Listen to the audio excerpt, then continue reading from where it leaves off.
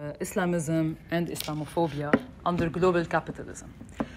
I would like to say that um, at the current uh, sociopolitical juncture we live in, one that is characterized by militarization, securitized authoritarianism, economic precarity, and moral panic, whether it be in the global south or the global north, I find the work of uh, Evren uh, very urgent to help us formulate new understandings of state violence through a queer lens that takes seriously the need to do translations. Queer in Translation offers a materialist perspective that helps envision a queer politics that has the potential to get us past the restrictive question of whether uh, and how much to be with or against political Islam. It also highlights how uh, sexual politics, class formation, and global capitalism influence one another. According to Evren, Islam cannot be understood as occupying a pure place of indigeneity that is outside the domain of political economy. Based on the Turkish context, Evren argues that the Turkish Islamic political history and morality is one that has been produced in conjunction with neoliberalism. By thinking of neoliberalism and Islam together through queer studies, we can hope to articulate an approach that takes seriously the task of simultaneously avoiding Occidentalisms while also debunking Orientalisms. Focusing on political economy is useful because it helps us get a fresh take on the topic and shift the terms of the debate. This approach also prompts us to imagine uh, different possibilities that emerge from the paradoxes of political Islam and its diverse lived realities, and possibilities that allow us to understand how our struggles are interconnected under global capitalism. So, for those of you who don't know Evren, uh, Evren is an assistant professor uh, of women, gender, and sexuality studies at Yale University.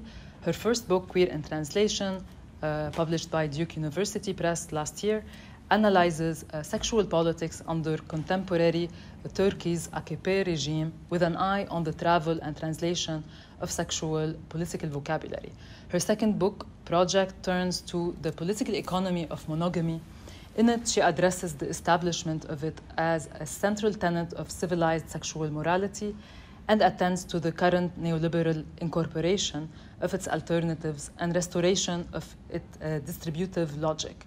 Savcı's work uh, uh, on the intersections of language, knowledge, sexual politics, neoliberalism, and religion has appeared in Journal of Marriage and the Family, Ethnography, Sexualities, Political Power and Social Theory, Theory and Event, Journal of Feminist Studies in Religion and GLQ, and in several edited collections.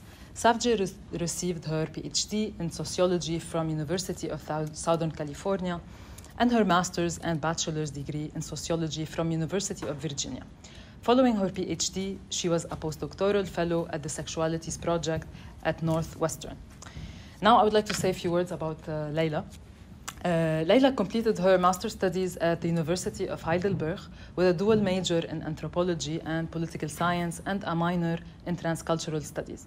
She is currently pursuing her doctoral uh, studies at the University of Humboldt in Berlin at the Department of South Asian uh, Studies, and her research focuses on the linkages between West Asia and South Asia, inter- interrogating notions of identity, belonging, citizenship, class, caste, religion, gender, borders, and transcultural uh, sociality.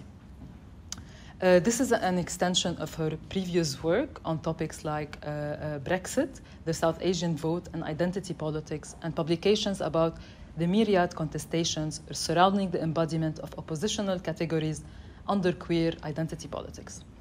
Uh, and before giving uh, the floor to Evren, I have a few pra- practical remarks. So the talk will be around uh, half an hour, followed by a short response uh, by Laila, uh, to which Evren will uh, briefly respond. Then we have around 25 minutes for Q&A. so get your questions ready. also for people online, you can post it in the chat. Uh, and uh, I, will note it, and, and later at the end of the session, I will, I will, I will read it. So, welcome, uh, Evren and uh, and thanks for being here. And uh, yeah, now I give the floor to uh, Evren.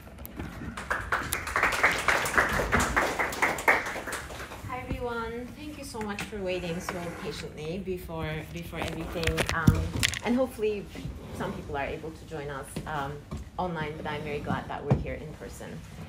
Uh, it's really nice to be here um, at, uh, to talk about my book, book with you. Um, and um, I want to start by thanking um, the Netherlands Research School of Gender Studies um, and Utrecht University for having me here in particular to Nisreen for the invitation, for this lovely introduction, and for chairing our session, um, um, to Laila for being my respondent and for being in conversation, and to um, and Florian for working so hard at organizing today's event and belaboring for half an hour to make this go live, which hopefully we have managed.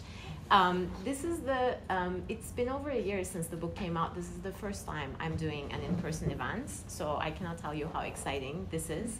I'm so happy we can do this in person. Because I will be speaking um, for half an hour, I thought the best use of the time would be to introduce the larger project and the conceptual work um, I try to do in it and the contributions I aim to make, and give a quick example um, I talk about, there are four chapters in the book, um, each one of which talks about a different case. So this talk will not really do justice to each of those stories, but I'm happy to, and maybe through Laila's engagement and the conversations, I will be covering a little bit more. But I'm happy to talk about anything really during the Q&A. Queer in Translation takes as its departure point the political shifts Turkey has experienced during the time of my fieldwork and its aftermath. Back in 2008, when I started research, the AKP government, under the leadership of then Prime Minister Recep Tayyip Erdogan, was rapidly working on democratizing the country within the context of the European Union membership accession process.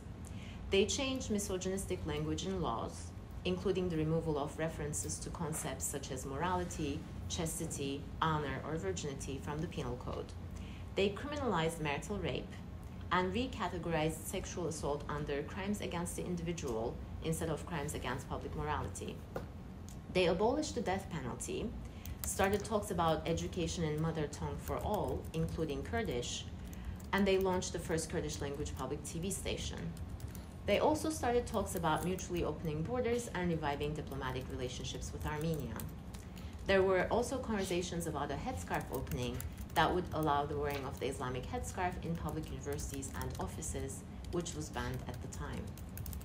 It was in this climate and under the AKP regime that the annual LGBTI plus Pride March that had started in 2001 grew significantly in size, and so did the number of queer and trans organizations around the country.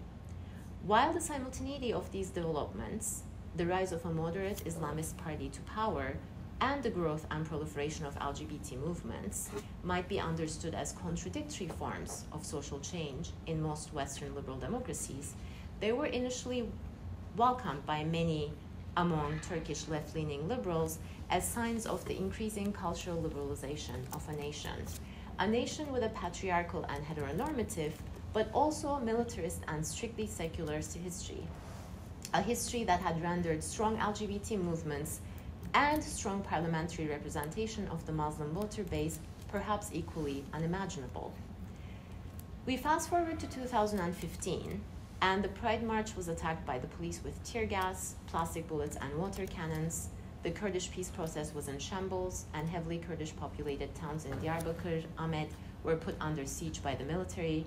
And Erdogan was lecturing at dis- disrespectful, in quotes, women and feminists to behave from various platforms claiming that abortion is murder and telling all families to have at least three children. Later, under the state of emergency following the coup attempt of 2016, any and all LGBT events, such as film screenings, lectures, or performances, were banned in the capital Ankara under the auspices of security measures. This shift for that was a temporary ban, just to uh, mention this, but it lasted for a while. This shift from democratization to authoritarian crushing of all dissent is my object of study, which I attribute to the rise of neoliberal Islam. So, queer in translation became the study of sexual and queer politics that unfolded under the marriage between neoliberalism and Islam as devised by the AKP regime. Following Inderpal Grewal, I suggest that if neoliberal capitalism produces um, is a system that produces increasing precarity for larger groups of people through the disappearance of the middle class, the rise of surplus existence, the disappearing of welfare and related social safety nets, um, rising dispossession and rising debt, and crushing of labor unions. And if it justifies such inequality via moralizing mechanisms, production of the categories of deserving versus undeserving poor, the rise of respectability politics, increasing individualization of responsibility, and emphasis on self sufficiency and self entrepreneurialism. So, if we, on the one hand, have um, an increasing um, precarity for larger groups of people, which then gets um, justified through moralizing mechanisms, then in the case of Turkey, I argue, Islamic morality factors as the key mechanism through which neoliberalism is domesticated and through which the government designates between the deserving and the undeserving, between the good moral citizens and the bad immoral elements conspiring with foreign powers for the government's downfall, and between those who need to be securitized and those who will aid with securitization. Queer politics, in particular, emerges as a site where the effects of the existing regime of morality, as well as resistances to it, become crystallized. Let me quickly clarify a couple of things about my use of the term Islam. Um, my use of the word throughout the book, so my use of Islam throughout the book, is not intended to homogenize its meaning or suggest that there is an essence to it. I rather argue for contextualizing Islam as a lived reality grounded in political economy and government rule, as opposed to its current treatment in queer studies as a symbol or a dis- discursive device. I'm going to say a little bit more on this in a minute. While my, my main goal has been to illustrate the complexities of sexual politics under neoliberal Islam, the stories I recount in the book also, and perhaps inevitably, demonstrate the multiplicity of Islam among those who live it and speak on its behalf, despite the Turkish government's increasing efforts to homogenize and monopolize its meaning. And secondly, Islam, I argue, needs to be historicized in any one of its uses. In that, and in that spirit, I explain that the marriage of neoliberalism and Islam in Turkey predates the AKP regime. In fact, the introduction of neoliberalism and the particular public, so-called moderate Islam to Turkey, both date to the military coup of September 12, 1980. The post-coup military junta was central in transforming the Turkish economy from a state-led closed market system with an emphasis on national production and consumption and strict regulations on import into an open market system following the IMF and World Bank supported structural adjustment policies. The same junta government also preempted any organized resistance to this process through banning many forms of political organizing, including labor unions, and jailing their leaders. Turkey, as a result, became one of the key testing sites um, of the joint IMF World Bank approach. If economic neoliberalization was one significant outcome of the 1980 coup, its other key effect was the introduction of Islam, and more specifically what was referred to as Turk Islam Sentezi, which translates as Turkish Islamic synthesis, as a social glue, a remedy to political rifts in the country. This so-called remedy was intended to end the political divisions uh, between communists and the fascist ultra-right,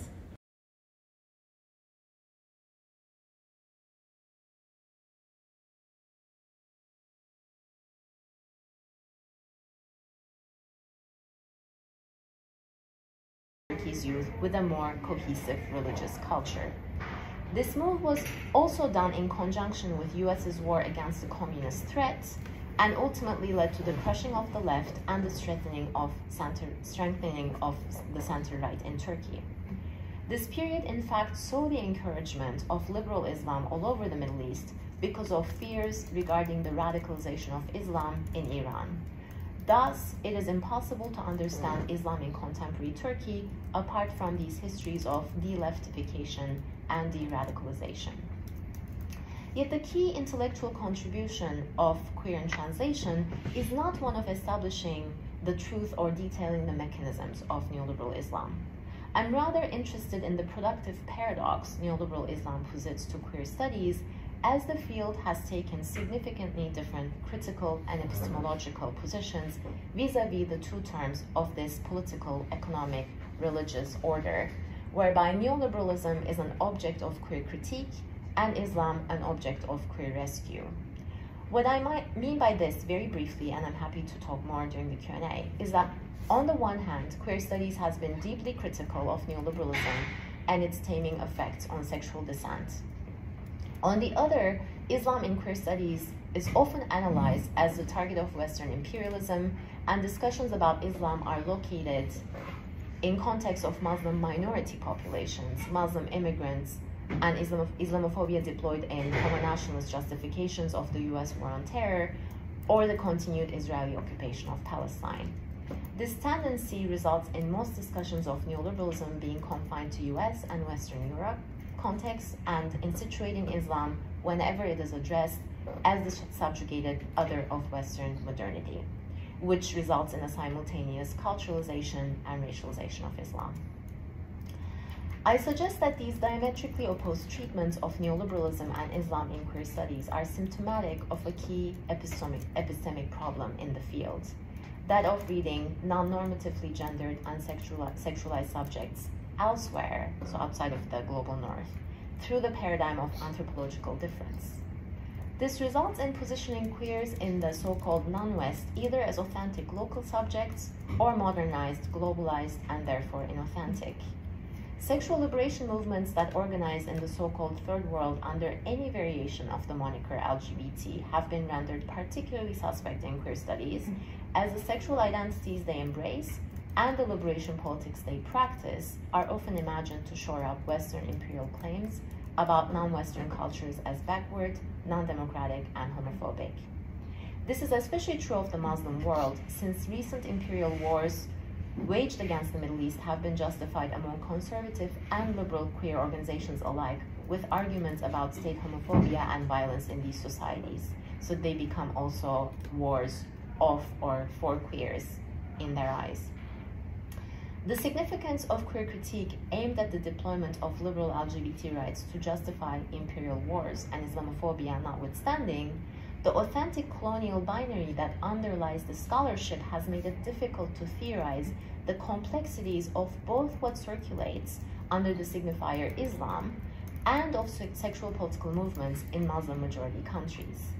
In other words, since homonationalism is presented as the security arm of homonormativity, whereby homonormative queer life seeks to be protected by a number of means, including the desire to be protected from alleged Muslim homophobia, Islam and Muslims can only occupy the position of the victims of neoliberalism, but not really its perpetrators. The methodological solution I offer to this epistemological problem is that of translation. I trace the travel and translation of modern political languages around gendered and sexual minorities, such as gender identity, sexual orientation, hate crimes, homophobia, and LGBT rights, within the context of contemporary Turkey and analyze how they enter public political discussions in order to understand the contours and the effects of neoliberal Islam, as well as its internal contradictions and unexpected outcomes that make room for resistance and for social change. Critical translation studies is helpful in moving away from the colonial authentic binary because the field deeply historicizes and denaturalizes, the link between language and culture and opens up a way to rethink what seems to be the perpetual unspoken equation of language equals culture equals difference equals decolonial. So let me say a few words on translation studies and rethinking language in queer studies. Despite queer studies' commitment to critiquing identity and universalism, and despite the field's recognition of the constitutive powers of language, it is only very recently that queer studies scholars have recognized the English-centeredness of much of queer studies itself. While I discuss the repercussions of this in, my, in the book, my central focus is on queer studies participation in the ideology of homolingual address and not the specificity of English. Translation studies scholar Naoki Sakai maintains that the homolingual address imagines the world made up of communities of languages. So it's like a United Nations model of languages, um, if you will, where languages are supposed to be easily identifiable as autonomous and distinct from each other. As opposed to this unspoken homolingual address that dominates most fields of inquiry and forms what translation studies scholars call the modern regime of translation, Critical translation studies scholars remind us that language, as an object with particular attributes and constituting comparable entities, is a historical construct itself. Linguistic practices without proper names were deemed deviations as a result of Romanticism and disqualified as proper language. Moreover, the nationalization of languages and the formation of what was considered a mother tongue um, occurred as a result of the formation of nation states. This establishment of monolingualism further naturalized and reified the nation and its citizens' relationship to it. A distinct national language worked to establish the nation as authentic, accompanied by the erasure and at times ban of indigenous languages or their reduction to dialect. Therefore, it is useful to keep in mind that what we recognize as languages today are themselves products of a political history of national modernity. As a result, arguments that equate, and these, this might sound familiar to you, and if not, I'm happy to say more during the Q&A, arguments that equate the appearance of new names for sexual subjectivity, say words like gay or lesbian, in a particular language, say the Turkish language, as a colonial effect, inevitably naturalize the said national languages as indigenous, thereby erasing the heterolingual and polyglot histories of these spaces, as well as ongoing struggles to maintain them, which in the case of Turkey includes speakers of Kurdish, Armenian, Circassian, Zazaki, Laz, Greek, Arabic, Serbo-Croatian, and Ladino. Employing translation as a methodology in my work when I analyze the travel of sexual and queer politics terminology to Turkey helps me think about the question of difference without reproducing the universalism particularism binary. I suggest that we do not use the term translation to indicate a seamless move from one language to another in order to bridge linguistic gap and find common ground, but instead to indicate social disjunctures. Those social disjunctures became my objects of study. For instance, in one of the chapters of the book, in the first chapter, I trace the travel of the terms LGBT rights and homophobia to the context of the headscarf debates in Turkey. So each chapter traces different terms. I don't trace um, sexual identity terms like gay, lesbian, bisexual, um, or trans, and I'm more, much happy to say a lot more about that during the Q&A. Just for time's sake now, I'll just go with this example. Um, I show that the equivalence established between LGBT rights and the headscarf right through a human rights framework in the context of Islamist AKP's neoliberal multiculturalism and democratic openings and against the historical background of staunch secularism ultimately led to the treatment of LGBT rights as a litmus test for headscarf, headscarf activists, a test promoted by suspicious secularists to see whether the commitment heads, of headscarf activists to democratic rights and liberties was sincere and thus to establish whether they deserved their own democratic rights. Um, a reduction of these events to the question, so they, um, there were many uh, moments, especially in media discussions, where um, headscarf activists were asked whether they also supported LGBT rights, almost as a test to see if they would pass this um, test of democracy. A reduction of these events to the question of what Islam thinks about homosexuality is deeply misguided, however.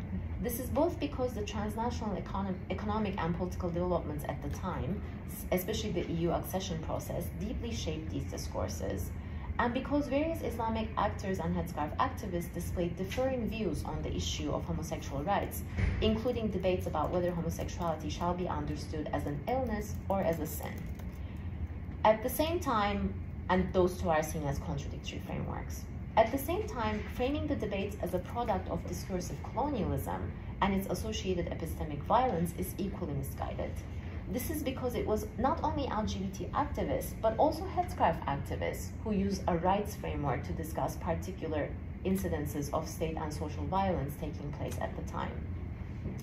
I will share a few quick points from this chapter that I hope will help illustrate the limits of understanding these debates through and within the binaries of authentic colonial, local, global, religious, secular, or the West versus the East. I think we're having a little bit of um, that's okay. feedback. Okay. It's okay, that's the only solution I found now. We have a sound, so. Okay.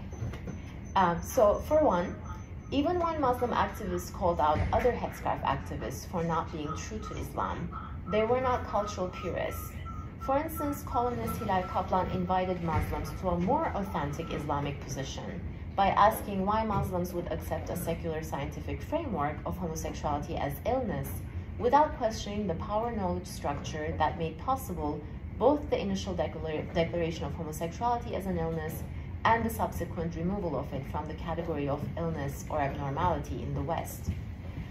So this is her call to think about homosexuality as a sin, as a more authentic Islamic position. Her position was shot through with Foucaultian critiques of the history of sexuality and the rise of scientific institutions in the West. In fact, her column at the time often housed references to Western post-structuralist psychoanalytic theorists and theorists of power and sovereignty, such as Foucault, Zizek, Schmitt, Lukács, and Adorno and Horkheimer, among others. Undermining simplistic frames of cultural authenticity, such moments exemplify that it is not only Western liberal epistemic frameworks such as human rights that travel elsewhere, but also their post-structuralist and post-colonial critiques that can emanate from the so-called West. Secondly, when rights as a framework travel to Turkey and are discussed publicly, the word that is used is hak, Hak is a capacious term derived from Arabic and used to mean right, as in human rights in Turkish, insan hakları, but also justice in general, as in the phrase hak yerini buldu, sort of justice found its place, justice was delivered. Hak is also one of the 99 names of Allah, exemplifying and emphasizing the significance of justice in Islam. This is not to say that there is no way to use the term rights in a secular way, but rather that secular and religious meanings are inevitably imbricated, which some headscarf activists used to separate a capacious understanding of justice for all from what they understood to be identity politics, which they were being forced into. And the final point um, I'm going to make is from a meeting, and the only one to my knowledge that actually took place between LGBT activists and, and a handful of headscarf activists um, in person. Otherwise, most of, most of these debates um, happened um, and unfolded in the media, where secular concerns about the headscarf opening were being voiced through LGBT rights being evoked as a litmus test. The meeting took place in the midst of dialogue and solidarity efforts among various feminist, LGBT, and Muslim groups. The Turkish Armenian journalist Hrant Dink had recently been assassinated, causing a huge social outcry and resulting in the formation of a number of groups, including the January 19th platform, through which citizens from differing political positions gathered to think about ways of organizing collectively against state-condoned racist violence. At the meeting, the headscarf activists presented what LGBT activists referred to as an Islamic utopia in which the violent interventionist state led by arrogant politicians would be replaced by a system in which every subject would be guided by Islamic ethics and duties and also their own conscience. The secular state would always be more authoritarian, as well as more repressive and controlling than this new Islamic order, because in a secular regime, people do not feel humbled in the presence of Allah, they claimed. Further, the headscarf activists maintained, even when Islam deemed particular acts haram, it had utmost respect for mahram, which I will translate as the private sphere for, this, for the moment. Therefore, even as homosexuality was considered sinful according to Islam, no one should interfere with an individual's private affairs. By demanding legislative changes, they said LGBT activists were inviting the state into their bedrooms, which was exactly what the secular state wanted anyway. The headscarf activists thought that queer theory supported their critique of identity politics, as well as their rejection of a desire to be recognized by the state, citing Judith Butler several times during the meeting. When LGBT activists asked what they thought about the recent declaration by some ulama in Indonesia regarding Islam not having a clear position on homosexuality, the headscarf activists indicated that they did not take that declaration too seriously. The meeting notes state that the fiqh scholars, so Islamic jurisprudence scholars, these Muslim activists follow and trust must be more orthodox than the Indonesian ulama.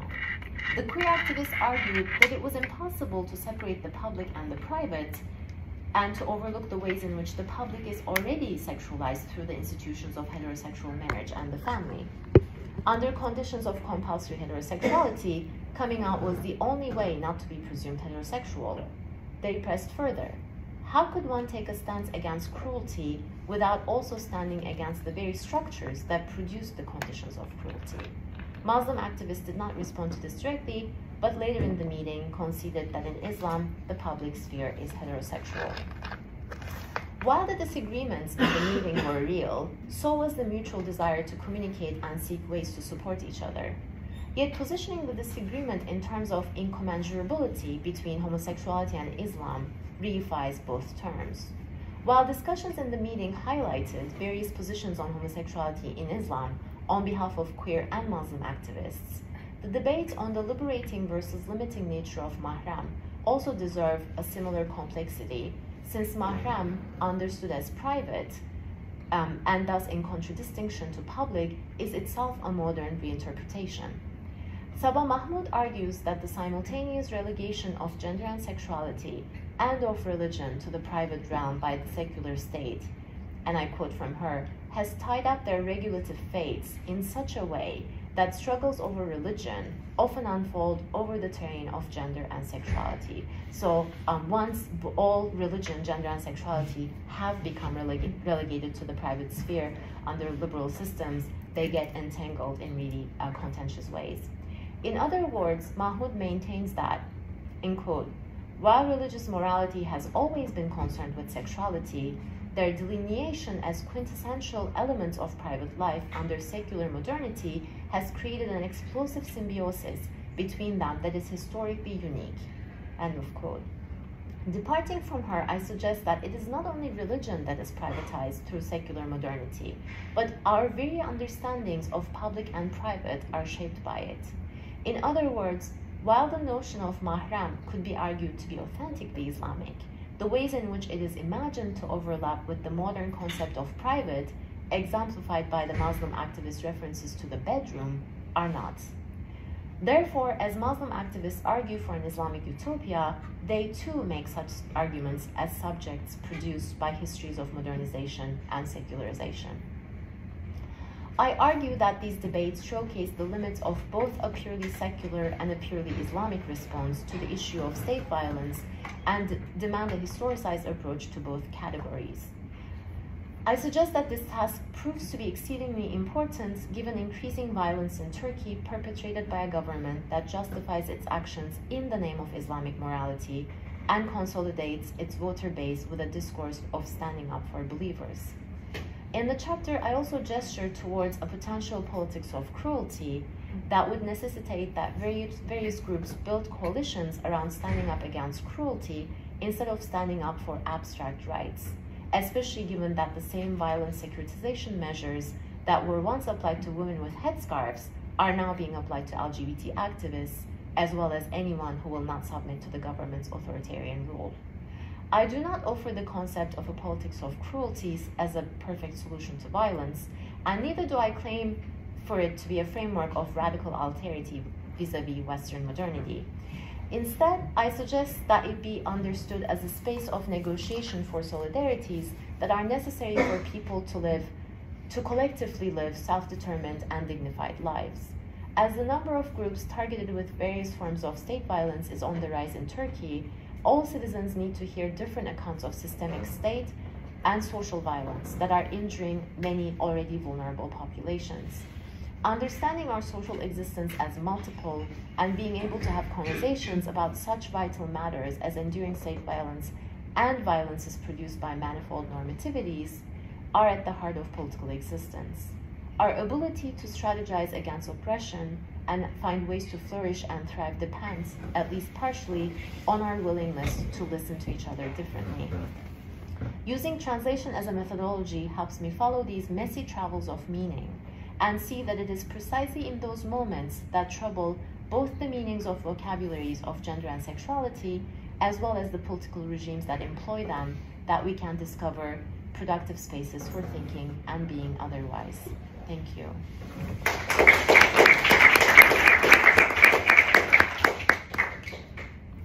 Yes, thank you. Thank you so much, Akram. Shall uh, I stay yes. here or shall we switch? What do you think? Um, yeah, do you want to maybe go here so that you, you're more on the camera? Whatever you think.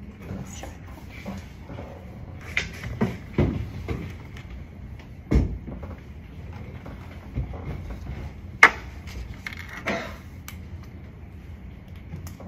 Okay. Um, apologies again for the late start.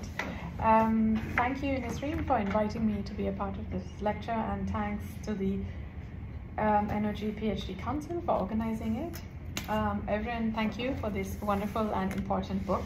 I resonated with many parts of it, and I also found interesting parallels with what is happening in different parts of the global south, or the non-west, or the third world, or however we want to call it.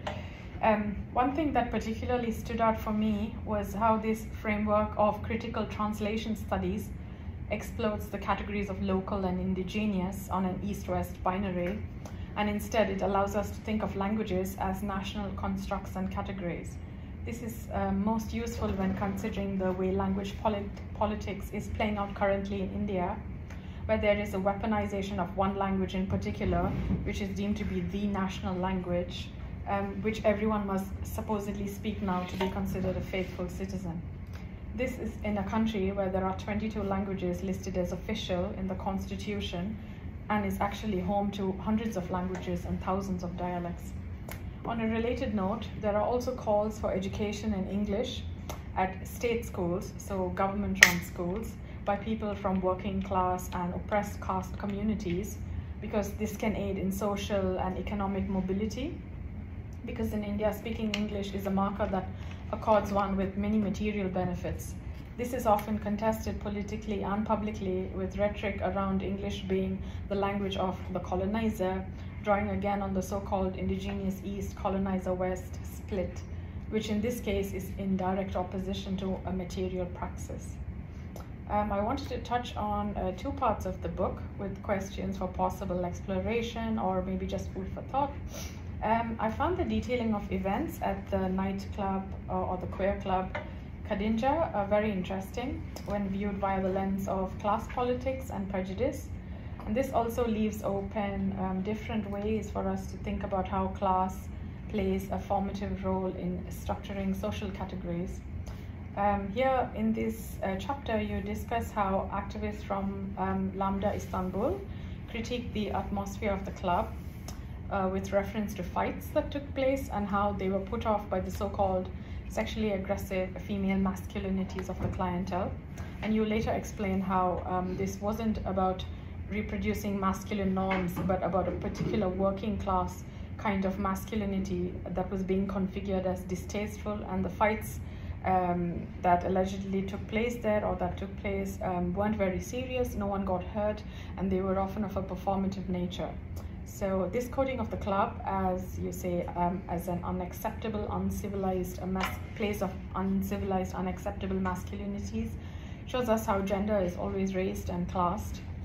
Uh, further in this chapter, you discuss how even within the sphere of Lambda Istanbul, a trans man was called out by a lesbian activist from the same collective, um, also for reproducing um, cultural practices of manhood and how he had the language and the knowledge with regard to the gender binary being socially reproduced to offer a counter critique and state how the cultural practices of femininity was also and equally being reproduced in a similar manner, which was then accepted by the activists. So this um, chapter leads me to consider how this links up with second wave feminist ideas, even if this was predicated in the first instance um, and redressed in the second on class distinctions the underlying critique is one where um, masculinity and violence are metonym, and this can often lapse into various kinds of essentialism, where femininity is coded as good and oppressed, and masculinity in need of control and containment because it is oppressive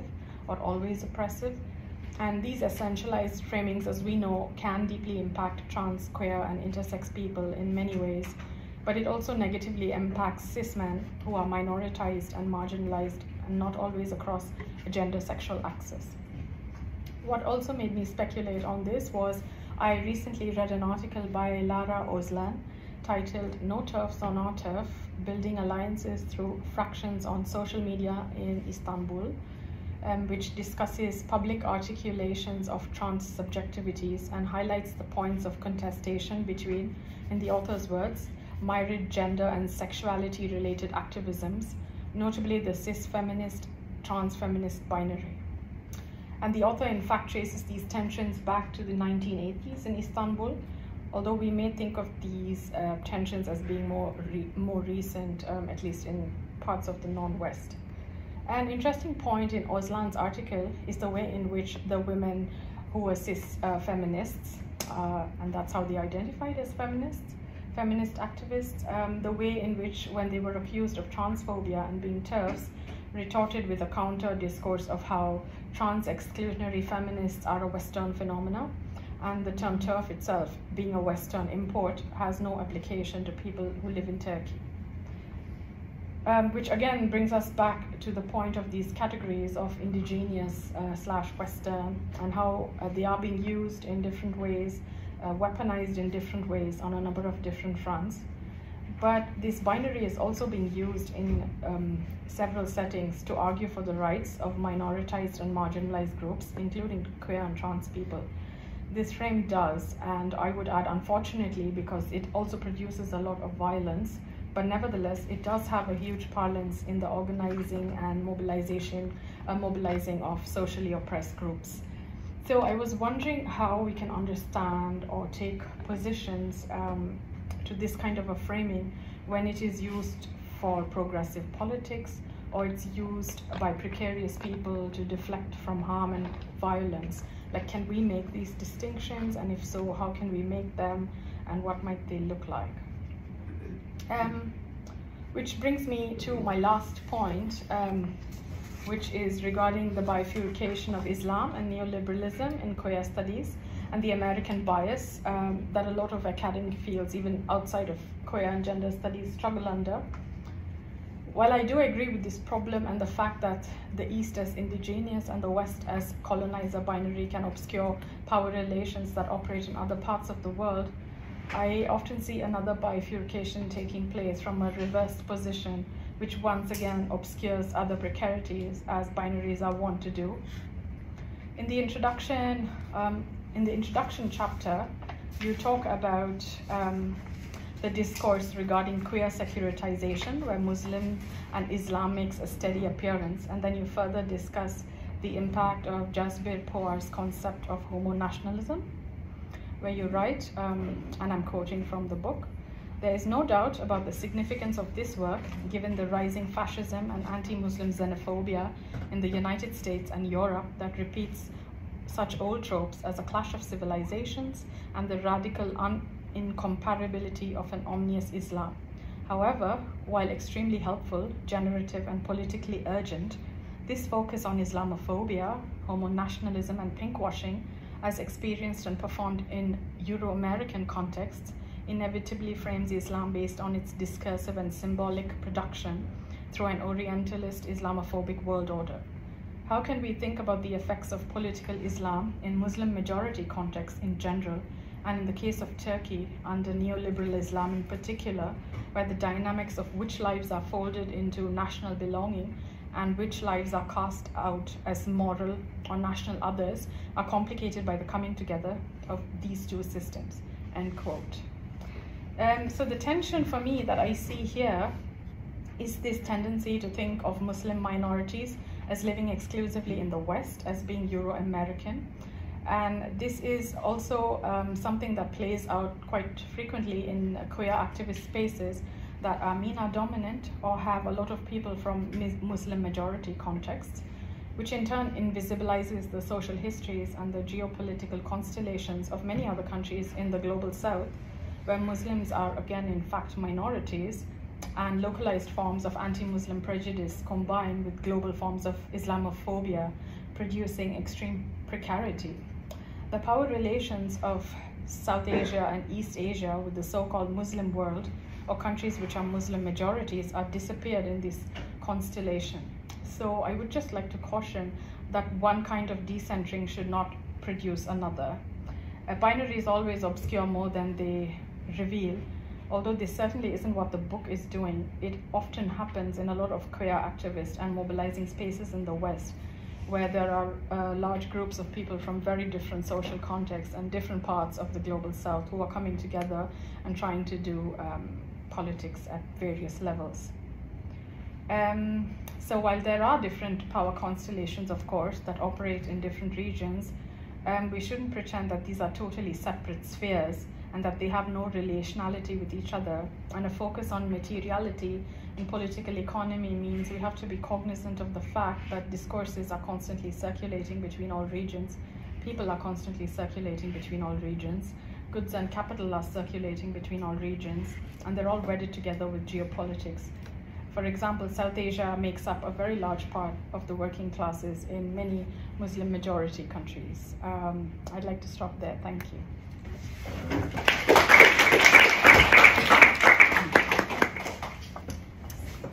Um, thank you so much, Laila, for these comments. Um, I'm gonna go in the order in which you have posed the questions, but I will start answering the first one, and I think I'm gonna consult with you to make sure I, am I'm understanding or, or, I'm not missing any parts of it. So um, Anna is gonna be very happy to hear that she was quoted at this event. Um, so I'll say something about masculinity and violence um, being seen as metonyms. I mean, I think that it is um, unrefined masculinity, right? That there's this understanding that masculinity, um, in its most barbaric forms, right, um, is um, you know, synonymous uh, with violence. But um, as it becomes civilized, it will behave. But there is something essential, right? Um, there's something to its essence. And um, you're right to point out that this not only does this have repercussions for, um, so this is a very different chapter from the one I have talked about. So you're now getting sampling different bits of different chapters. Um, there, um, this has implications for, um, as you said, not only trans men, but also cis men, because the um, case that I'm trying to make in that chapter is the um, transness or non-binariness or gender queerness um, of those masculine bodies were irrelevant. What was much more relevant and pronounced was their um, more kind of working class behavior that was coded by. Um, so this is a chapter in which I uh, compare I'd say two forms of critique, but I call one of it critique and the other one comments as um, kind of left strategies. One to me is a bit of a failed left strategy, and the other one a bit more promising one. Um, and in the critique, I talk about the relationship between queer activists to um, the kind of queer, mostly like AFAB queer goers of this club that was um, back then now it, the clientele has completely changed but back then it was quite working class. So it was people who worked um, as you know at retail or at barbershops and things like that and they had kind of like one night um, a week off in which they came to this club and they and the sort of class markers were things like like the fights were a big deal for the activists and that was an unacceptable um, thing for them and that was kind of reproducing cultural practices of manhood quote unquote. But they also complained about people um, acting like truckers and carrying cigarettes in their socks and carrying worry beads. So like these um, forms of masculine performances that are feel like, associated with kind of more rural, more backward, less civilized, um, and more working class uh, masculinities. So it seems that since like I mean, and we're seeing lots of those tropes play out today um, in the talks, this is like literally in the last two, three days, this has been in the news in Turkey a lot now. There is um, the the already existing backlash against Syrian refugees um, in Turkey today is now turning, taking that classic turn where um, the complaints are now turning to um, we have to get rid of Syrian refugees because, and they're like equal Syrian refugee man, this the gender is not even, because they pose a threat to Turkish women. They are, um, you know, we see them act inappropriately and try to film women, you know, um, from like with their cameras. And so there's this like, you know, the, this stereotypical, uncivilized, um, racialized um, men who are um, potentially violent and are kind of like bombs waiting to explode on the social scene. So, um, but to come to your point about the distinction between cis feminists and trans feminists, and when cis feminists say um, TERF um, is a Western concept and is irrelevant to Turkey, um, it is. Um, and and I think your question is, you know, how to answer this or what to do vis-a-vis, like if these terms are useful, etc. Um, I I will refer us, I guess, to um, Rahul Rao's great book, um, Out of Time, in which he asks the very important and helpful question of what to do in a context of post-coloniality where both claims that homosexuality is Western and homophobia is Western live side by side. Right, so what to make out of that moment and how to move around and through that moment. Um, and I think, um, you know, I don't want to take the easy way out because I can say I'm a scholar. I'm not supposed to produce solutions to social problems. I'm just supposed to analyze them. But there's a way in which, I, but I also believe in analysis. I don't think we can act before we have the analysis in place. Uh, we can't decide what to do. Um, so in that sense, I think that the, the framing um, that he does, and I think the framing we can do with an argument like, but TERF is a Western um, term, it has no relevance to Turkish context, is to say, um, so which terms um, are debated as irrelevant and foreign, and which terms aren't? what is embraced and what is not and that's what i tried to do i hope my example like i you know tried to make it short it wasn't too confusing when i tried to say you know it is not we can't imagine the world consisting of this homogenous west where some liberal ideologies are produced and then they're shipped to the rest of the world and everybody like absorbs them um, the the west quote unquote is um, very contradictory and complex space I also put the word in quotation marks all the time because it does not obviously designate a geographic location. But but it um, not only are liberal um, theories, you know, produce their travel, but also post-structural critiques. Everybody takes them up, everybody engages them, and people engage in with them in really unexpected ways. And by which I don't mean, I also don't mean um, people are like liberal free agents and they can use words and terminology the way they please. I think that like, and this is the translation studies bit that I find really helpful. I rather suggest that structurally, meaning and language are always fractured already. They don't need individuals to playfully recreate meaning. Like things already always don't fully translate and people are not always properly hailed by ideology. Sometimes people are misinterpellated. They think things address them, but they don't. But do you know what I mean? So, so in that sense, I think that to the argument that TERF is a Western phenomenon and it's irrelevant to Turkey, um, I would, um, I guess, pose the question um, what are the conditions of possibility for a term like TERF to arrive at Turkey and for some people to find it useful and others not to. Whereas feminist, for instance, the same people wouldn't say it's a Western term and it's irrelevant. Does, does this answer your question? Sure. Okay, okay. Um, and to the um, you, and to your second point, you're absolutely right. So um, this is, I think, a real limitation of the book. But and I chose to do one thing, and I did that, and hopefully it works. But it means that I didn't do other things. So um, to me, the book comes out of, and I think a lot of our work does probably, um, out of a real frustration to see particular frameworks become um, not the frameworks themselves, but the way in which they become became paradigmatic. Um, and in the U.S. context in which I lived and worked, that was um, the the, those were the frameworks of sort of like homo, homo nationalism and Islamophobia as the dominant frameworks to make sense of any moment sexuality and Islam came together.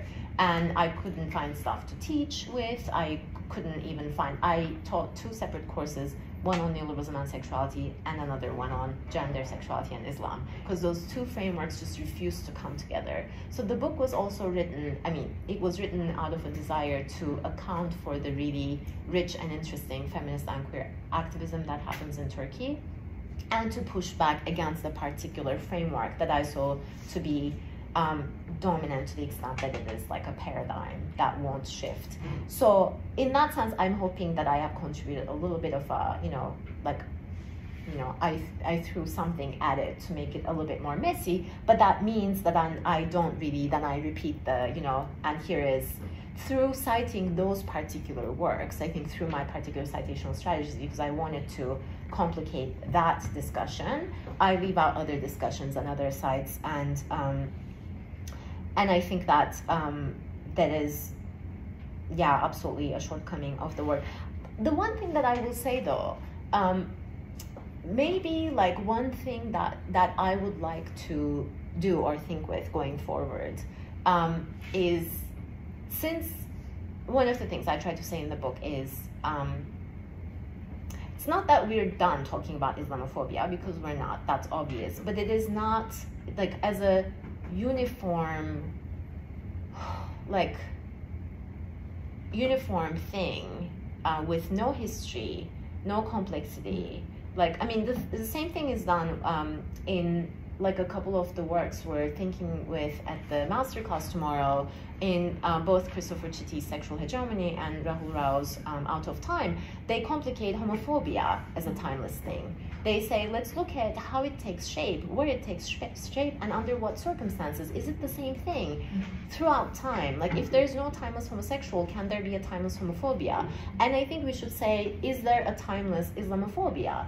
Is there a shapeless like you know is it the same everywhere we go? And then we can look at the different articulations of islamophobia. And i have i remember a conversation with a colleague who thinks that in the turkish context islamophobia as a um, as what is done makes no sense but there's something we need to name. Like is it anti-islamism? Is it anti-islam? Not anti-islamism that would be wrong but there is a particular very strong staunch secularist um, frame that will not have any room for like so they were against the headscarf they still are they will homogenize everybody who wears the headscarf they so there so we need to name that something but the moment we name it islamophobia and put it together with everything else a lot of um, things disappear. One of the things that disappears to me is a way of thinking about potential ways out potential political shifts, potential solidarities, like those disappear with everything else, I think. So it's not just, you know, to go back to the question of what, what can, a quote unquote, a scholar do. I think that thinking about these things in detail really has an implication on what solutions, quote unquote, um, and what collaborations and what solidarities can be imagined. I hope these answer your Definitely. comments. Thank you. So I'm happy to answer any questions. Yes, we can. Yeah, maybe we can have. Uh, first of all, thank you.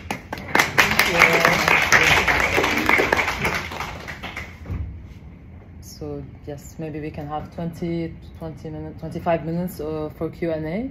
Yeah. Uh, but we need to rephrase the question because uh, I, Okay, we the can, sound. Okay, Yeah. okay. Now we have a knife. I see. This is the fourth try.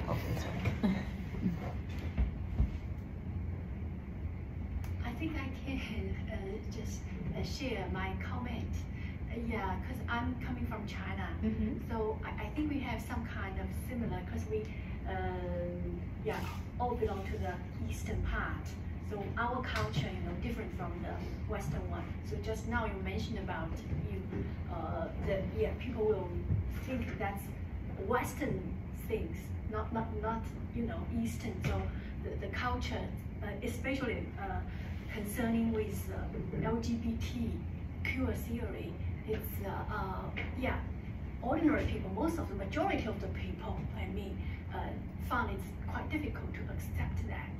So while I am yeah also translating, I have um, translated a book from English to Chinese uh, uh, about feminism. I also found some found some kind of um, concepts difficult to translate into my language, Chinese, you know, Mhm. because uh, just a different kind of situation, different kind of culture.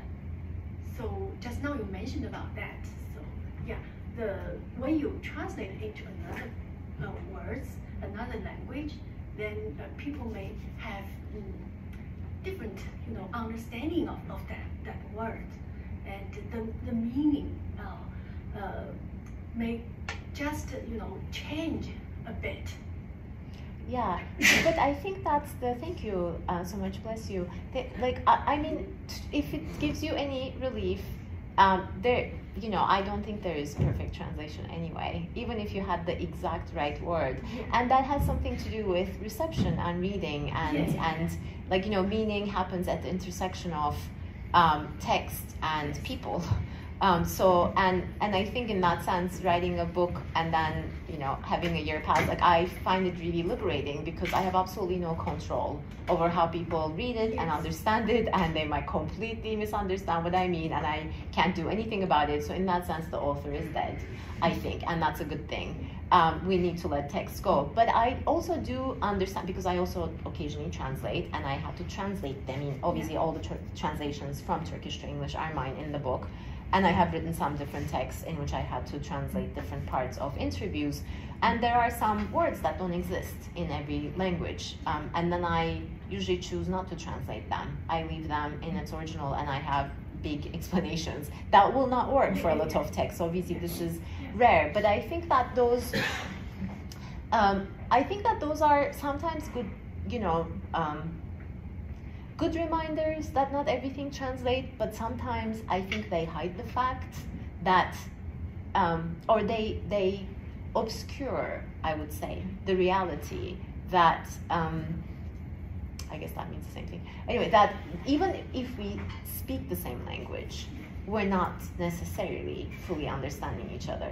That I think is the ideology. Like language is actually quite opaque, but I think it has an ideology of transparency. So um, so, for instance, like the logic of this critical translation scholars work, uh, studies work for me when um, I'm in the classroom and I'm teaching students and we're all speaking English, and I don't assume that they understand what I'm saying. I mean, I just don't. I can't. We're talking about theory. There's complicated, you know, um, concepts I want them to understand. So that's part of me making sure. But I have so many moments, and I think this is a teaching thing lots of us do without thinking of it as any have anything to do with translation. But I will say something, and then I will say, "Can someone rephrase what I just said?" Or can someone ask this in a different way? Just so that we can see that, you know, meaning itself itself is always fractured, and we, you know, have to live with that reality. Um, that doesn't mean people can't communicate or get along. But I think imagining a transparency to language as a particular kind of construct is itself a myth and an ideological effect. So, so when you're not finding words, to me, it's not that different from when you find words, but who knows how people are going to read them, if that makes sense. Yeah, yeah. yeah. Thank you. What are you translating? What's the Um, text? Uh, that's a, a, a new, yeah, basic for some kind of, uh, the name is, uh, mm, uh, both, both uh, teaches you, you know, uh, how to, oh, yeah, uh, uh, about the feminist, the questions, those daily life, yeah, Okay, yeah, yeah, yeah. thank you. And uh, uh, yeah, so just now you, in the very beginning, you talked about the, you know, ideological, you know, background of Turkey. Mm-hmm. So that I think that's also connected with yeah, yeah the mm, the theory and the translation and the understanding of meaning. I mean, Mm-hmm. yeah. Thank you. Thank you. Um, Domi? Sorry. Uh, thank you for everything. I, I wanted to go back to something you said from the beginning, Mhm. which I think it was maybe the setup of, of your research, which is the neoliberalism and Islam Mhm, mhm. in in Turkey and Yeah. uh, post 1980s and, and all that. I was just wondering what kind of uh, what does it do, and maybe how people react, both let's say activists from the LGBT community, but also you know, left uh, wing activists. This idea of seeing Islam in Turkey as a neoliberal enterprise, or sees so many connections between Islam and, and neoliberal mechanisms, because I can imagine that from a certain conservative perspective in Turkey, if neoliberalism is equated with a certain Western perspective, then to think that Islam has anything to do with a certain neoliberal Western kind of discourse, it's almost some kind of uh, short-circuiting. Mm-hmm. If Islam is, is, is presented from conservative Turkish party as oppositional to a certain infiltrations, quote unquote, of Western idea, then to see that there is something within uh, Turkey and Islam to be neoliberal mu- must do something very complicated. And uh, yeah. Yeah, it does, and there's a great book about that that I didn't write. Someone else did. Okay. Um, it's great. It was very helpful to me. Um, so Cihan Tuğal, who's a sociologist at UC Berkeley, has a book called um, Passive Revolution, and um, he actually does an ethnography of the transformation of the radical Islamists uh, into neoliberal Islamists under AKP regime. Um, in like one neighborhood that he observes in Istanbul, um, because so the um, Islamist politics pre-AKP um, and and some of the founders of that party are descendants from this other party was um, anti-West, anti-state, in fact, in some ways, and anti-big business.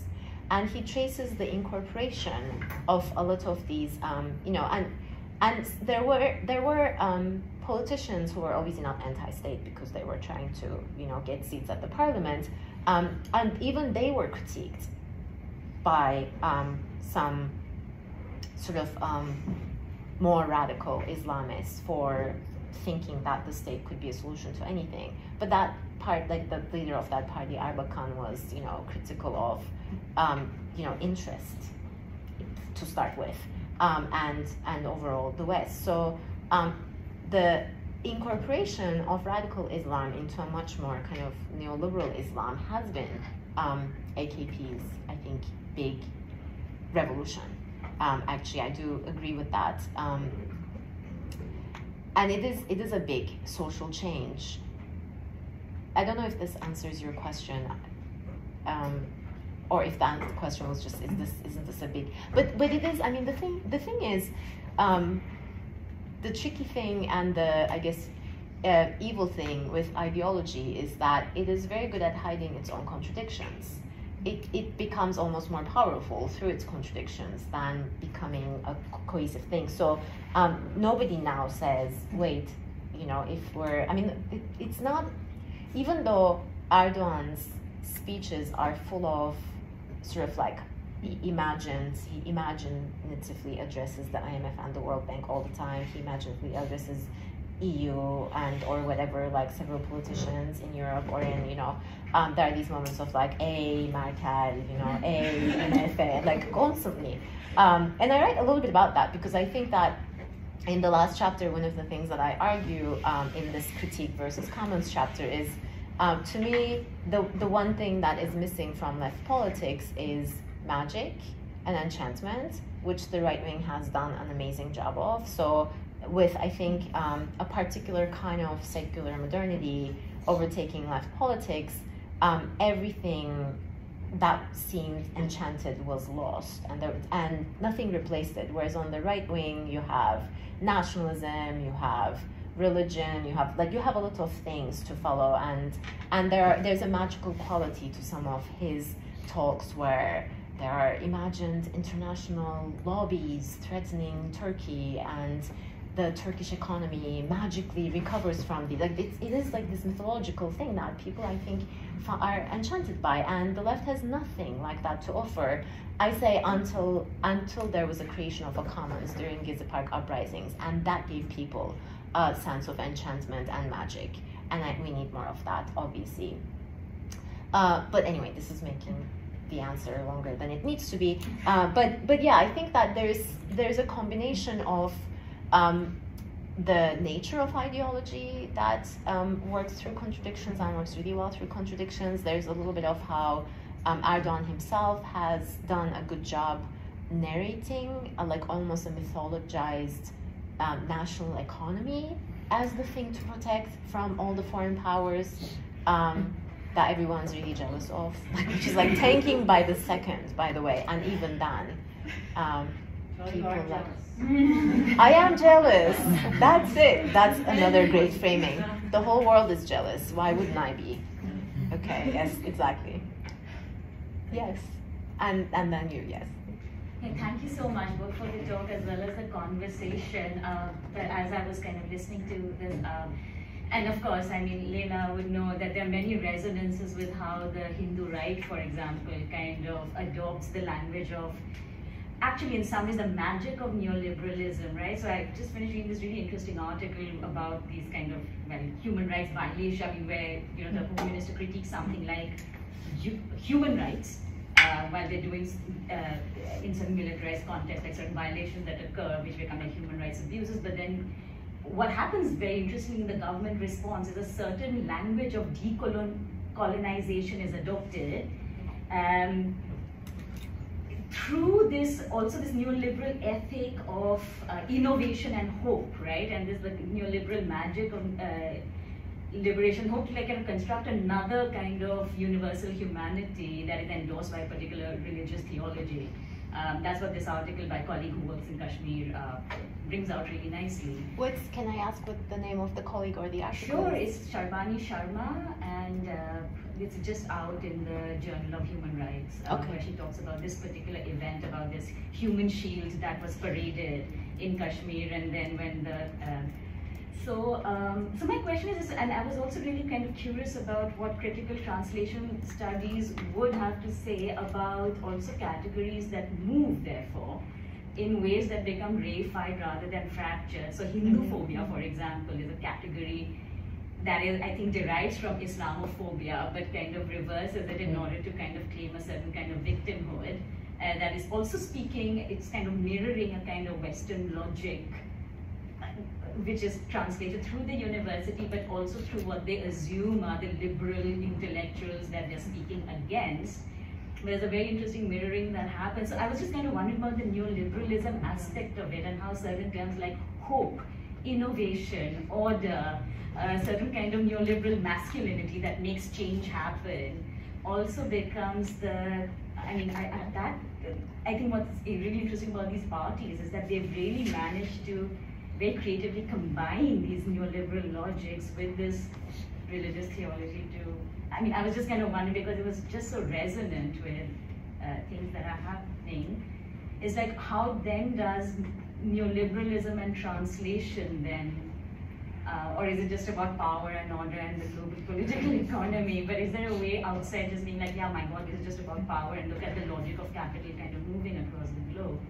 Or would you say there's something interesting happening in the way these categories get innovated with by these kind of parties, authoritarian regimes that seem to be very good at kind of mobilizing the language, categories, and doing something very different with them. Okay, I think that's a great question. I'm hoping I'm hopefully understanding it, but but let me just say some things, and if I don't get it, you should tell me. Yeah. Okay. Now, do you want to ask it too, and then? I, yeah. Because we are co-teaching. Okay. you you prepared for this.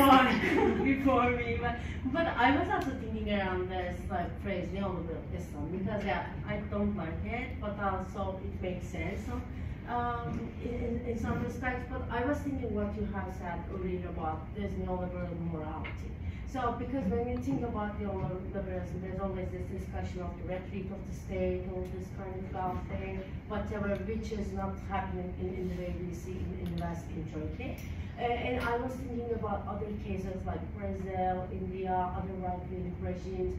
It seems to me that there is a particular form of neoliberal morality that capitalizes on the language of rights, language of hope, innovation. And for I, not only in the global south, I have one of the MA students who is writing a thesis on uh, like uh, pro-choice, uh, like uh, movement in Ireland uh, who are re reutilizing this kind of rights discourse about like uh, to like kind of to uh, like mobilize their right-wing discourses, right? Uh, so this is like, and I'm I'm also thinking about all this kind of focus on family values across because I grew up in Turkey, but I moved to United States in 2006. And like since I lived in the US for 15 years, and during this period, that there's the kind of different phase of AKP. What I noticed that AKP resembled more, uh, AKP discourse resembled more like the discourses I saw in the US. So like when I was growing up, abortion was not a problem at all in most of the conservative circles. But then I start seeing the like phrases like abortion as a murder. So uh, on the there is something definitely Islamic about it.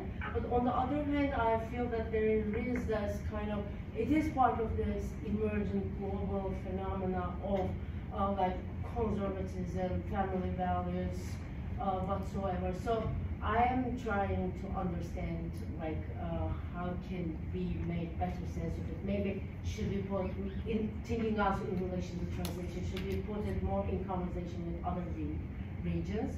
So instead, even the framework of translation assumes that there are things like A uh, waiting to be translated to B. Maybe there is a, this pool of imaginations that are constantly moving. So maybe moving or traveling, as you mentioned, traveling meanings makes sense uh, better than translation. So these are my random thoughts. Thank you. Uh, okay, let's see where to start. So I think I'm going to start with this one one point, brief clarification points first. Um, I in the book I usually say travel and translation together, uh, both of which have been found problematic. Travel is also seen as a very colonial, you know, like to have a very colonial history. Um, it's about certain bodies, right, having access to. But I, I think of travel of meaning. Um, and I think of translation as a particular travel of meaning. And what I find really um, nice about what I call critical translation studies, because there's also an old school translation studies that there's for every field, where people did believe there was, a, you know, source language, there was a oh, target language, and then you translated X to X in that language, and that was that. Um, now, critical translation studies completely opposes the very epistemic under uh, underlying kind of epistemic assumptions of that, which assume certain things about what a language is, what meaning is, how it works. So then, because I take the part of critical translation studies that says meaning is always already fractured. It's like translation is not a filter. Like you can't put things through anyway because that's not how meaning works. I, I don't like I, I think of translation a little bit differently. Now to this question of um, I mean I, I would I'm not inclined to say um, it's it's just power and that's it. Um, because then we assume there is a one homogeneous thing called that we call power with a capital P. And in that sense, you know, I um, say in the book that I think translation studies hopefully offers a, you know, a bit of a refreshing um, intervention in Foucault, which is extremely, um, I mean, I want to say almost hegemonic in queer studies. And I do like Foucault and I use it as well. But discourse as a framework um, and as an approach to language really leaves no room for hermeneutics and interpretation. And, and I don't mean that discourse is structure and then, you know, meaning making is agency. Meaning is already not so easily, you know, um, put across. So, and then there, there needs to be room for something messy, for things to be misunderstood, for things not to fully translate, for people not to be hailed properly, like all, all these things. Um, and I'm interested in that messy space in that sense, now the governing elites are not as messy as social life because there's a party. I mean, I'm not. And here's what I mean by that. I don't think it's a coincidence that we can see now, we can draw parallels between the particular kind of masculinist fascist regimes all over the world. It's like they're all reading the same textbook, yeah, yeah um, before they go to bed. but I, I, I think that is what I'm interested in is a bit more how these things play out in everyday life among people who are trying to organize, people who are trying to debate um, what kind of a future they want to have, right? Like to, to, a kind of imagine a political future together. And in and there, I think there is a lot of um, messiness like people don't, so in, in that chapter that I sort of quickly tried to summarize, I talk about three different positions, and there was there were at least three different positions when headscarf activists said something about LGBT rights, none of which sound like each other to me, but then they're all categorized as homophobic, even though they're actually quite, one of which is like, I actually don't know what's going on with LGBT people. Like, can they not go into university campuses because they're gay? Because with headscarves we can't go in. Can they also not go in? Which then right reduces the problem to something like access at the door and normativity goes out. Like like everything, all injustice becomes legal injustice. And I say we also need to think about normativity. But that that to me is not, for instance, a homophobic stance. But there was a general framing. So when I um, going back to you guys' sort of um, emphasis on this language of innovation, hope, and rights, um, I think that it's not it's not surprising that these would that, that governments um, and and I guess people in power, quote unquote, would try to use these in reified ways. The gov- the AKP government wants Islam to mean one thing and to mean what they mean by it but that it just doesn't work like that's what i'm that's i'm interested in the places where it just kind of doesn't fully work out um, and i do have like i'm trying to think about examples from the book where like i mean so the, a lot of the hailing of the government into respectability completely failed during Gezi Park uprisings, and I give a lot of examples of that. And it wasn't just queer, you know, um, people or citizens or feminists. It was like everybody who um, was making fun of the call to have three children. You know, like that. So there's a way in which um, people will um, refuse the kind of future the governments are inviting them into. Um, and that doesn't mean that they don't want a future for themselves, but they that kind of that um, promise of um, rights and hope. I mean, obviously, future is a good place to look to, especially if you're trying to avoid the past. Um, and in that sense, I think decolonialization becomes a really interesting and, and so to me, I that, okay, that's a good example. So for instance, um, decolonization is used in so many ways by so many people, right? It is used in completely conservative ways to shore up very nationalistic imaginations for what um, the, the country should look like, what the future should look like. It's also used by um, people who think it will um, give them access. And the same thing for rights, even though I'm not a huge fan of rights frameworks, and I emphasize that a lot in the book, I do see that um, the ways in which certain frameworks are picked up um, are more complicated than they seem. So this this the rights framework was the one that people were given, and I think they could tell that during the EU accession process that was that was their best bet. But in one of the chapters, I talk about um, Am I talking too long? Should I? Um, I mean, we're officially now over time. Over time. So, okay, I'll finish this and we'll see if there are other questions. Can you finish by uh, also mentioning a little bit about uh, what you uh, said about politics of cruelty? Okay. Maybe that Okay. Do you want to tell me your question quickly? Um, I'm I'm sneaking it in. Sure. Yes. So my question. So I was. Um, so when you were talking about the this this situation of the litmus test, where um, you have this encounter, um, or where sort of the, the headscarf activists um, are being asked to do endorse LGBTQI rights as being this litmus test. This reminds me a lot of what happens with the Kurdish movement, where the Kurdish movement is being asked that same question. So are you pro LGBTQI rights? Like you're pro like Oh, I thought you were gonna say are you against the PKK? Because that's what the Kurdish people are asked in Turkey all the time, and that's yeah, the litmus this test. This is the return exactly. So I mean, and the return to, the return thing is, I mean, so are you against PKK? Are you against um, sort of violent action, what about the Armenian genocide, right? Like these are the, the, the kind of hmm. questions that come in return. But I was just wondering exactly, so this, so what does this, so in this context where you have these, you know, where you have the Kurdish movement, for instance, that, that gets asked the same kind of question, um, and the Kurdish movement also being very adept at at sort of addressing a Western audience by sh by showing themselves as the good Muslims who are pro, uh, pro like pro feminist and endorsing sort of um, women's rights against, uh, you know, with what ha what's happening in northern Syria and all of that. Um, so I was just wondering, sort of, what are the, what do you see within your work um, with LGBTQ activists in Turkey as being the kind of possibilities for um, for solidarity across these different, you know, across these different, what you might want to call minority activisms, um, and how do, for instance, like Kurdish and Turkish LGBTQI activists relate across that? Like, is politics of cruelty one?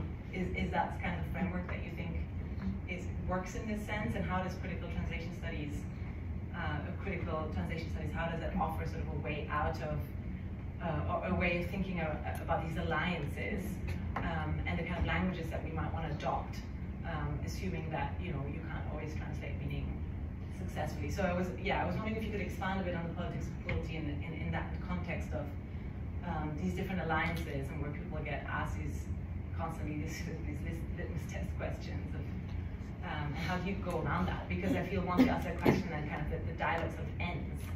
Um, mm. That's where people sort of shut down. Um, yeah, that's a great question. Thank you. So um, the thing I was gonna say before the politics of cruelty um, uh, question, and I'll make this very quick. Um, with the hope that maybe you, you'll read that someday. Um, there's a chapter in the book where I talk about the travel of the term hate crime um, to the Turkish context and the Turkish, um, uh, some of them are actually also Kurdish, like, so um, trans women, sex worker activists, uh, groups demands for a hate crime law. Um, and I talk about that as a, as a conundrum because um, in the US context, demands for hate crime law are understood to be completely complicit with the prison industrial complex, uh, imagined to be put forward by you know respectable gay and lesbian subjects who are imagined to they can imagine themselves to be protected by the state and the prison system and the police. Now the trans sex workers um, I read about um, have absolutely no trust in the police or the government or the state, and they, yet they still demand this law. So then I look at what that means to them. And it, is it really about legal change or is it also a particular cultural term that has a resonance for them? And I do show that there's, they think of hate as a way of naming the affective structure under neoliberalism. So when they want to call that out, and they think most of the crimes against them are perpetrated by the police and the state anyway. They're not imagining these like, you know, hate crimers that will be caught by the police and their life will be different. But it's a way of naming something and being able to name something officially. And they talk about not just hate towards them, but they talk about, you know, hate towards the Kurds, hate towards the Armenians, hate towards all minorities, and how that needs to be um, kind of understood as not necessarily universalizing everybody's injuries and, and pain and precarities, but as something that is produced by the system um, so it's a way of naming. So then I think of that as a particular translation of hate crimes that I find really interesting and productive. And it's not just a mimicry of the Western, um, you know, privileged mm-hmm. um, LGBT activist demands. So that's just a quick example. Now, to politics of cruelty and um, the question about alliances, I actually find, um, and you know, the, the book gets progressively more optimistic and romantic. So if you like start at the end, if you want uh, more of a dose of sunshine. Um, I mean, I do think that those alliances are there, and in fact, the few people who need the um, what I present as a critical translation studies framework are the kinds of people that the cis feminists who say TERF is a British term, whatever, like it has nothing to do, or whatever, I guess maybe US term, it has nothing to do with us. Those people are the people who need to hear it. A lot of the queer and trans activists that I know and are working on the ground are already quite allied with a lot of groups. And I think those alliances really were made possible in a way during the Gezi Park uprisings that nothing else could have made possible um, by bodies being together day after day um, and not just being beaten up or being, you know, um, targeted with tear gas, but also having forums at parks and talking and making room for everyone listening to everybody. Um, and um, and I think that really created something that I talk about. Uh, people like you know um, calling it a dream. Um, and and I, I, this is not my own interview. I'm citing a colleague's work there. Um, but this one person says, you know, we knew that we were going to wake up for it from it someday. That it wasn't going to last forever. But knowing that it is possible, it's always there, um, is is pretty miraculous. And people saw a different way of existing in the world that nobody has forgotten. So so the um, there is even when I was working with Lambda Istanbul in 2008, 2009, they, I want to say half of the volunteers at Lambda Istanbul were Kurdish. So I think that, like, kind of the um, ethnic composition of activism um, and its connections to feminist groups were kind of there almost from the beginning, um, quite readily and openly. I think the um, and you know some of the activists had you know relatives with headscarves or more pious families. So those things are always already mixed in the. So when I talk about like LGBT activists and headscarf activists, I'm talking about particular activist formations. Not that these things are not lived together in the social fabric. Um, but with politics of cruelty, I'm referring to a moment in the debates. I mean, uh, be, before the foreclosure, um, and then there was another reopening, I think, during Gezi Park uprisings, when um, headscarf activists, a number of them would say, as a Muslim, I cannot say I stand for LGBT rights, but I stand against all cruelty against LGBT people.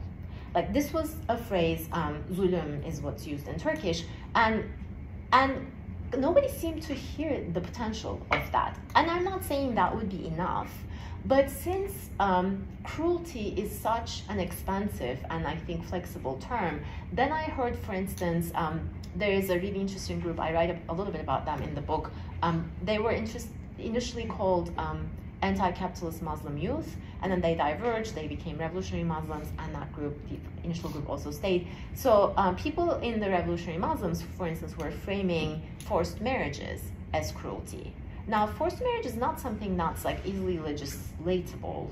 Like it is not, um, if you wanted to write a law about rights, I guess you could frame it as nobody shall be, you know, forced into a marriage. But, but good luck, you know, tracking that and, you know, making sure it doesn't happen. I think those like I found some interesting opening in that moment when people were willing to stand with others against cruelty, especially as those alliances were being formed after the assassination of Hrant Dink. And I felt like it would have been because standing up for rights is such an abstract thing. I don't even know what it means. You know, so what what do people do when they stand up for LGBT rights? Like I think that those are like very charming liberal concepts that everybody then feels good about doing but i don't know what it delivers mm-hmm. i thought that standing up against cruelty like actually signing up to that might deliver something it might mean that you don't walk by by someone who is getting harassed or beaten up because they don't look gender appropriate let's say mm-hmm. so so that was what i was kind of trying to think with whether there's a potential to think with that not maybe instead of a politics of rights, but in addition, like, you know, why do rights become the dominant framework through which we um, think, and even though we keep, we seem like we keep getting nowhere with it. This is such a dark note to end on, but things look much better today, I think, in terms of alliances than back in 2008. Thank you so much for coming, staying, your patience. It took yes. forever for us to start. Yes, thank, thank you. you. Thank you, Evren and Laila, and thanks a lot for being here and also participating in this art experiment on how academics fail at technology. So, yes. so thank you. Thank you.